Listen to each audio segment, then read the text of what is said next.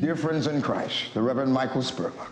We didn't meet before. I'm Michael. You're here to sell the church, ain't you? The fact is, you had 12 people in that church today. Jesus had 12 people. He done all right, didn't he? A new pastor's first assignment to close a struggling church. Michael, you're not here to perform CPR. If passing out a few flyers helps my congregation feel they can let their church go, I'm going to do it. Refugees searching to find a new home. We have 15 new family, not enough food for the children. Well, here's the thing, Ye Win. We're closing the church. We're broke. What is broke?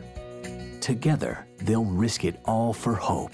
We, we plant a garden, very good ground and all things. What do you think will happen to them when we leave? Let's keep them in our prayers and ask for God's help. Aren't you God's help?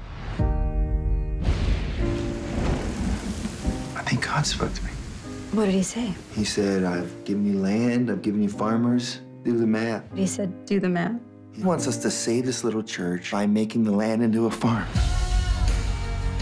That voice you hear, be sure it's God's voice, not your own. And people are not here to pick your beans. They're here to be Americans. What's more American than farming? Start a farm, we work together, we save the church. Amen. How you gonna plow? It's funny you should mention that.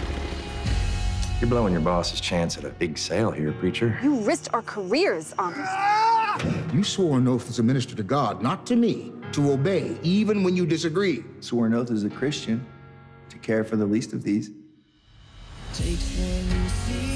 This whole thing, it's not some ego trip I'm on, is it?